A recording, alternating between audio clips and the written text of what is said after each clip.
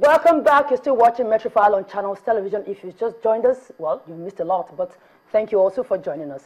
Now we move over to Owo in Ondo State to celebrate renowned photojournalist talking about Mr. Saka Olawande Kasumu, who was laid to rest in his hometown, Owo.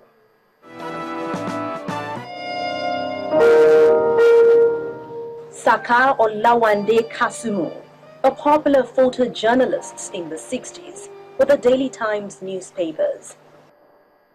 He is one Nigerian who is recognized by many to be hardworking and dedicated in the line of duty. In the course of his job, Mr. Kasumu documented in pictures some defining moments in Nigeria's history, which till date remains priceless archival materials that tells real stories about Nigeria. Sadly, on the 8th of January 2015, Saka Olawande Kasumu passed on to glory.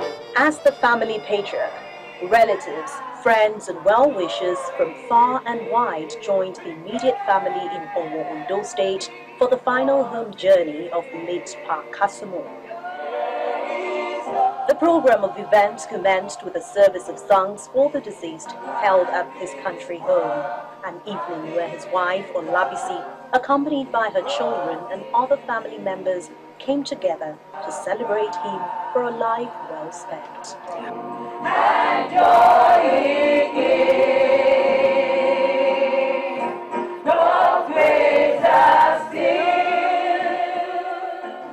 Kasumu is survived by his children, including Olakunle Kasumu, the presenter of Channels Book Club on Channels Television.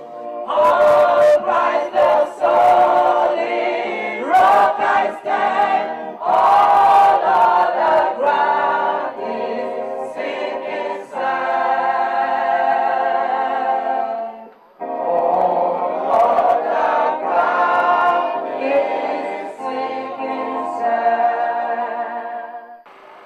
death, well, I wouldn't say that he came as a shock. You know, it was just a mixed feelings because um, considering that in the last eight years, um, he has, um, how will I put it, his limbs had failed him. But I guess that um, we give glory to God. At least in his heydays, as we would say, that was all over the place.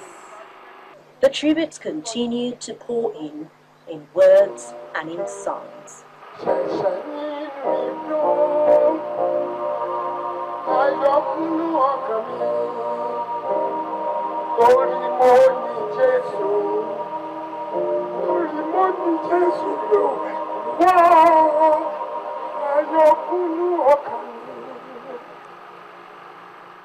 He gave me so many words of knowledge, so many words of encouragement.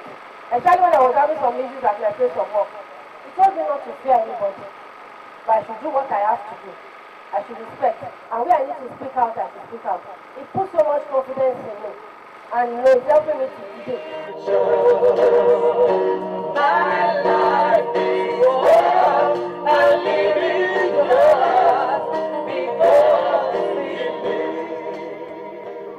praying today for those that He left behind. We are lifting up each one of them into your hands. We are glorifying your name. That in the blessed name of our Lord Jesus Christ, none of them will miss it. In the name of Jesus. In less than 24 hours, there was a brief line in state in his residential compound.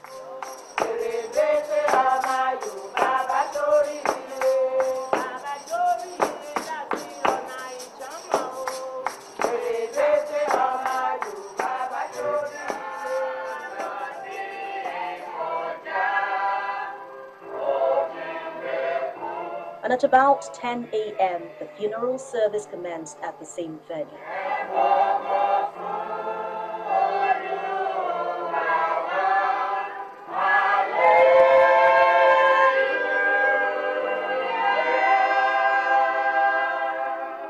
For I am persuaded that neither death, nor life, nor angels, nor principalities, During the service, Reverend Elekima Ekine, who delivered the sermon expressed joy that Pa lived a worthy life and is now resting in the bosom of the Lord. He's resting.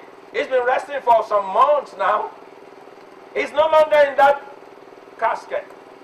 No, he's not the one there. That's the house he walked. That's the house he put on while on this earth. He has woken up in the presence of his Maker.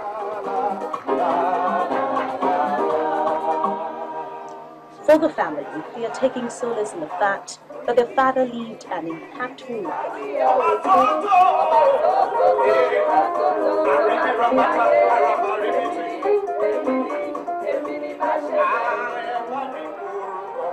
The brief service came to an end, and thereafter, the remains of Pa Kasumu was interred at his residence.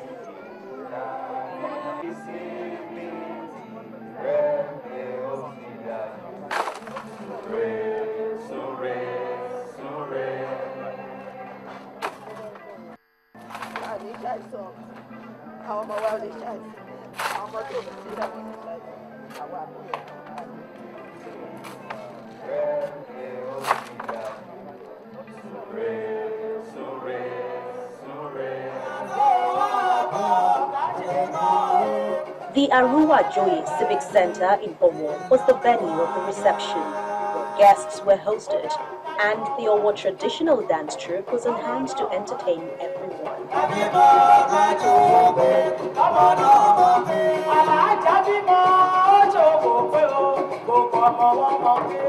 He was very important in helping to document Nigeria's history, you know, particularly the events of the Civil War.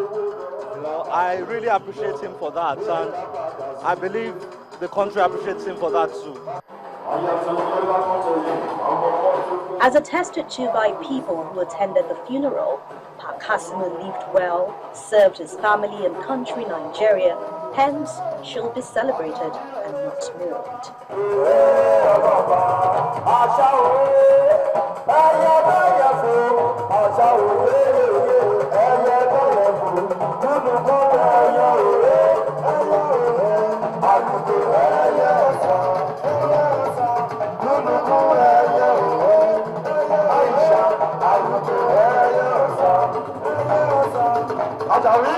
Late Pasaka Kasumu was born in Owo, Ondo State on January 25, 1940.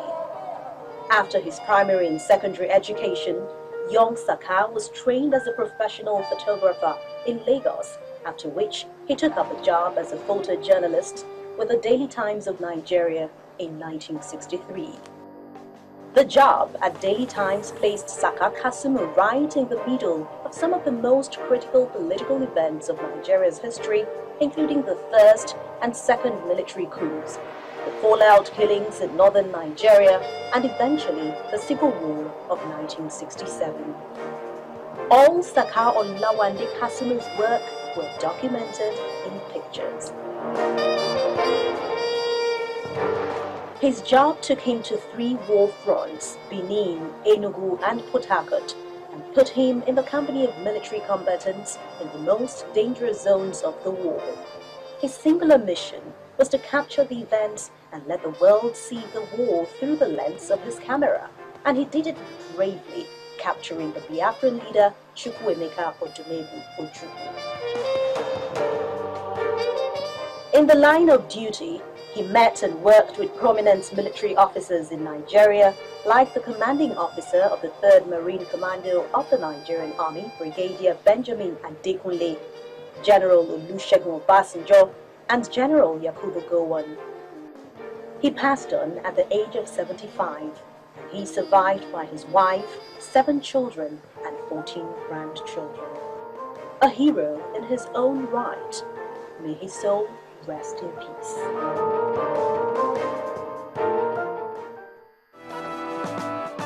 Well, I'm so fascinated about those priceless archival pictures that tell a lot of stories about our history. That's great because some Nigerians are not used to documenting things, but it's great to see that. At least you have things to show your future generation. Yeah. Right. But this is where we draw the cuttings on today's edition of Metrofile. But if you find this interesting and you found other episodes interesting, very simple. Go to our website at channelstv.com via our YouTube channel. You can watch us from there. Thank you so much for being a part of the show. Our Twitter handle is also running right on your screen, so follow us. I'm Anne Nwawadu. And I'm Ogichkwasi. Thank you for watching.